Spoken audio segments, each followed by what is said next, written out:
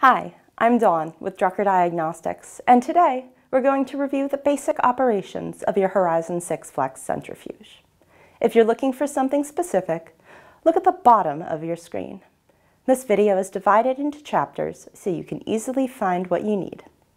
Horizon 6 Flex Basic Operations Guide. Part 1. Unboxing the Horizon 6 Flex.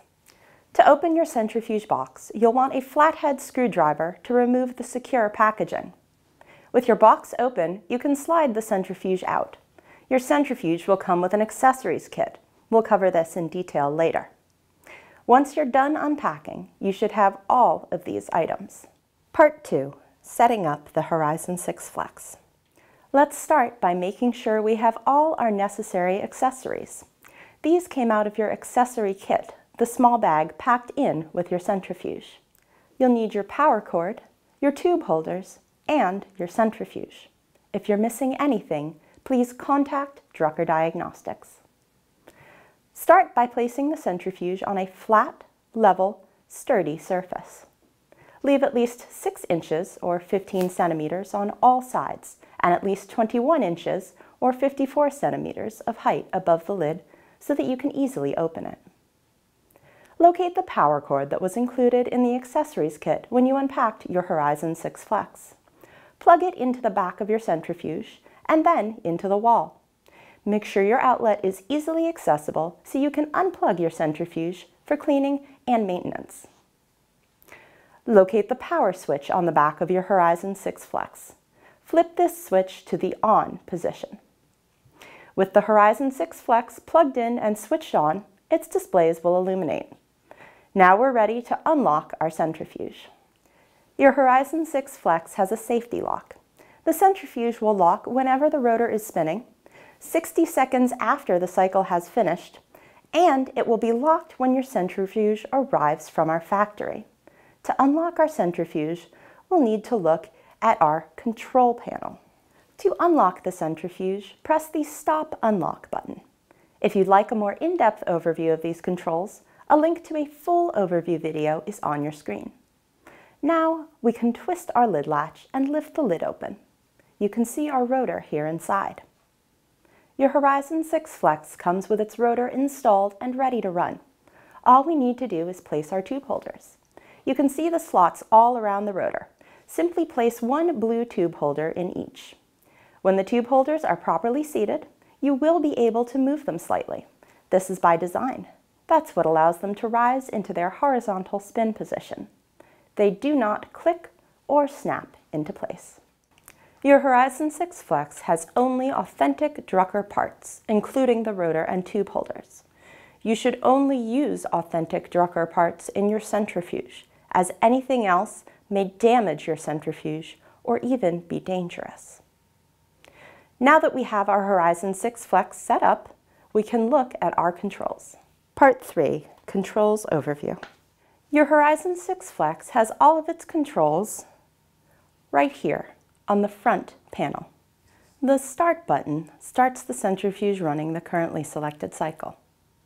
Menu allows you to save new cycles, edit existing saved cycles, and set things like audible alerts.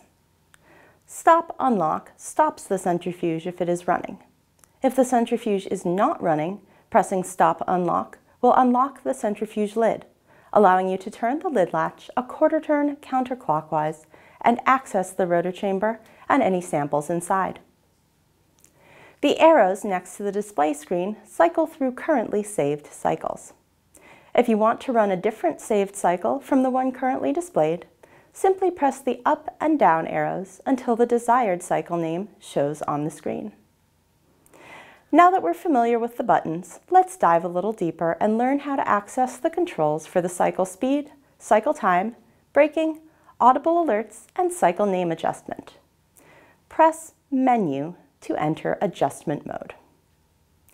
From this screen, you can scroll through several menu options. Pressing Stop Unlock will scroll to the next option. Pressing Start will scroll to the previous option. Pressing Menu again will save all changes made so far and exit. We're going to start with the speed, which is the first setting shown when you enter this menu. Press Stop unlock once. The number next to RPM should begin flashing, indicating that setting is currently selected.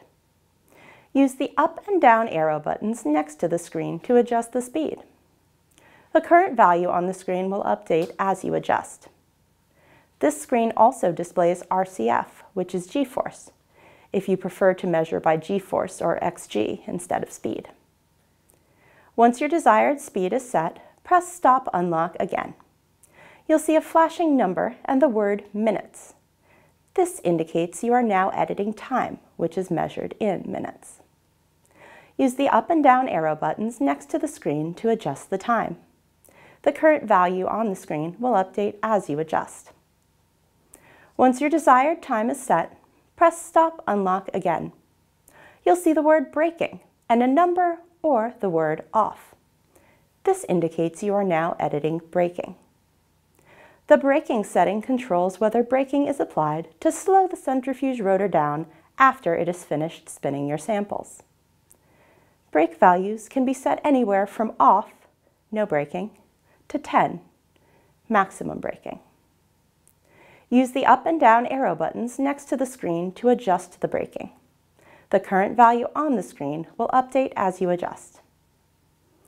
Once your desired braking is set, press Stop Unlock again. You'll see the word beeper and either off or on. This indicates you are now editing beeper, which controls the audible alerts on the Horizon 6 Flex. Beeper is a toggle. Audible alerts can either be turned on or turned off. If it is on, the centrifuge will beep at the end of a cycle and beep when buttons are being pressed. If it is off, the centrifuge will not have any audible alerts at all. Beeper is a universal setting. Audible alerts are either on or off for all cycles. Use the up and down arrow buttons next to the screen to toggle the audible alert setting on or off. The screen will show this status, on or off, and update dynamically as you adjust it. The centrifuge will run with the selected audible alert setting until that setting is changed. Since it's a toggle, switch it back using the same process we just discussed but make sure it's either on or off as desired. Once your desired audible alert is set, press Stop Unlock again. You'll see the name of the cycle displayed. This indicates that you are editing that cycle name. Name is edited character by character. Your currently selected character is indicated by the letter flashing or by a flashing rectangle if blank.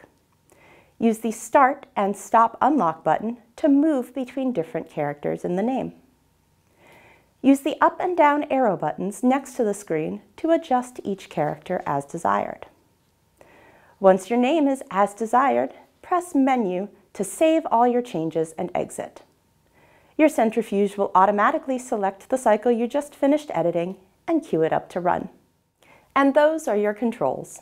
Now let's look at how to load your Horizon 6 Flex and spin your first samples. Part 4. Spinning Samples.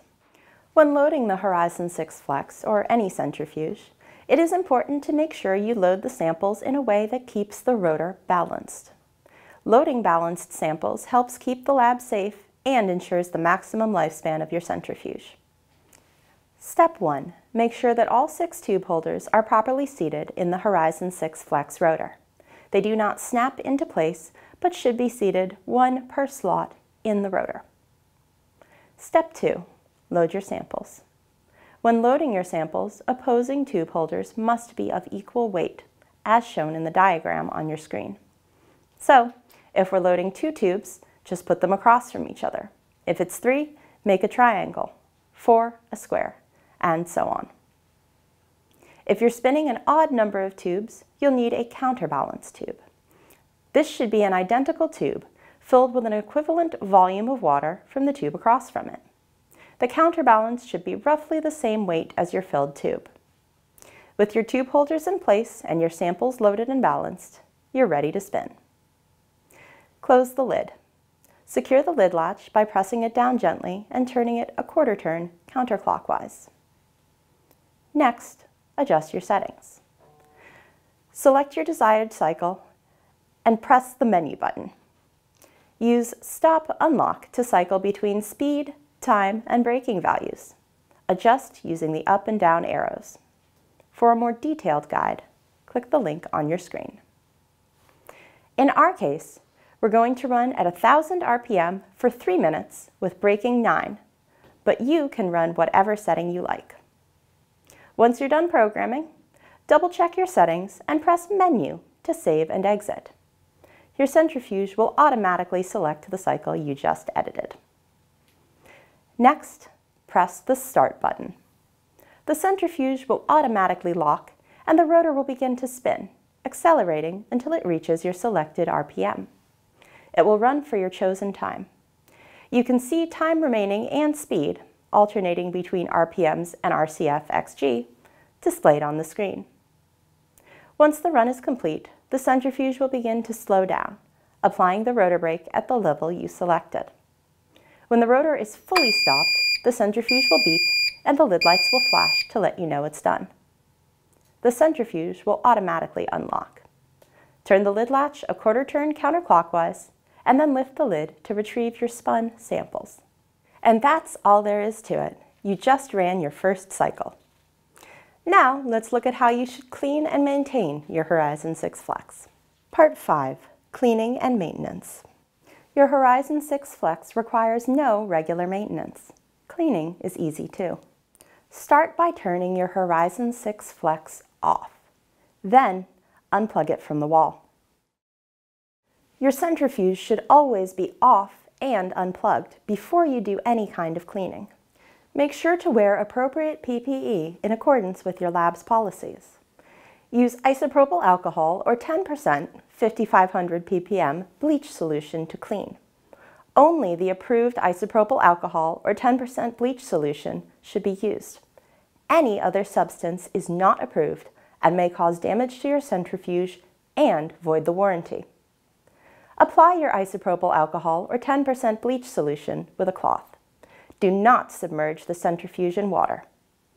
Dry your Horizon 6 Flex immediately after finishing cleaning and disinfecting, and be sure it's plugged in and turned on so it's ready for the next use.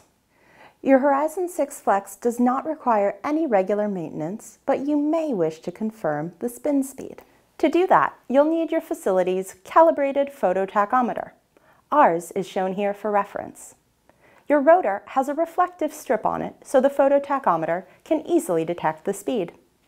Just start the cycle you wish to test, wait a minute or two for it to reach its peak speed, and point your phototachometer down through the clear lid. You'll quickly get a reading. And that brings us to the end of our basic operations guide for the Horizon 6 Flex.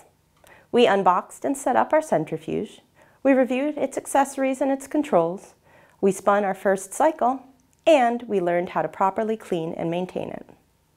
If you have any questions about your Horizon 6 Flex, you can always contact Drucker Customer Service and we'll be happy to help.